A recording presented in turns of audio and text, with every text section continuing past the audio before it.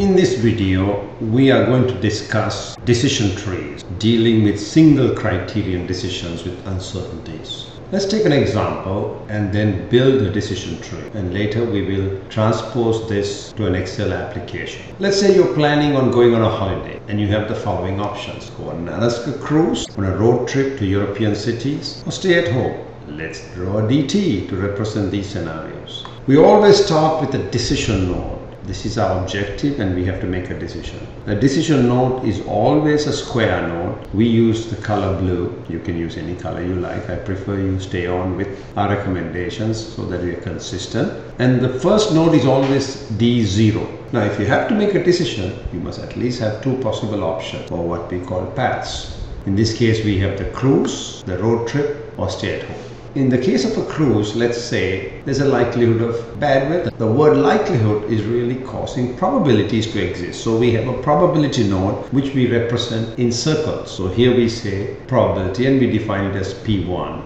and the likelihood of good weather or bad weather. Again, something could happen, we have to have paths. At the end, we have a terminal node. All trees must end with terminal nodes. Make sure that nothing is up in the air. For the road trip, we have the possibility of strikes or no strike. And of course, we can stay at home. So you can see the entire tree has been completed with terminal node. Let's give some numbers. In the case of the Alaskan cruise, let's say there's a 40% probability of good weather, which would make us very happy. And rather than money, let's call it units of happiness. So we have five units of happiness. These are arbitrary numbers, but this is a good start. Let's say if the weather turns bad, we would be very unhappy and we would suffer. So let's call it minus 3 units of fun. In the case of the road trip, once again, let us say there's a 40% probability of a strike, which would frustrate negative 5 units of fun. And of course, if there are no strikes, we will be happy. So we have 6 units of fun. Stay at home, we'll be bored and sad, and we'll put that down as minus 2 units of fun. Let's put this on a diagram. Here we have, as you can see, we put these alongside the paths. 40% probability for plus 5 units of fun, 60% probability minus 3 units of fun for good weather, bad weather respective. And the same way for strikes and no strikes. And stay at home, we have minus 2 units of fun. And you can see now the numbering, I just go from 1, 2, 3, 4, 5, 6, 7, 8, 9. You can use any kind of numbers.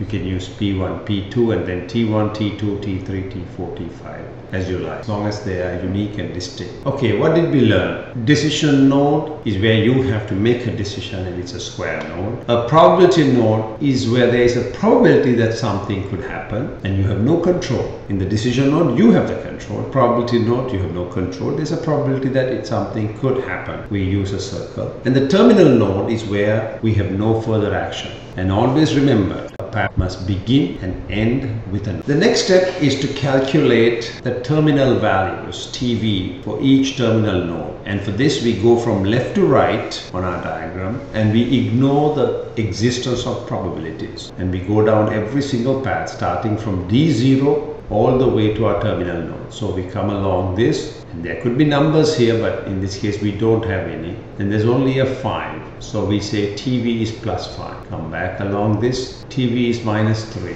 TV is plus 6, etc., etc. And here it's just a minus 2. So we have all the terminal value. Now we have to calculate the expected value. For that, we go from right to left. Let's start here. At P1, we have two probable outcomes. So the expected value at node P1 is 0.4 times 5 plus 0.6 times minus 3. You can see a value of 0.2. So we put it here, expected value 0.2. For the road trip, we can do the same 0.6 times 6 plus 0.4 times minus 5 is plus 1.6 and, and finally for stay at home we have the simple minus. We now have our expected values and then you can see the diagram shows that the road trip has the highest expected value which is plus 1.6 which should be our decision. So in this case we need to go on the road trip. So what did we learned about terminal values? We must go from left to right without probabilities. We learned about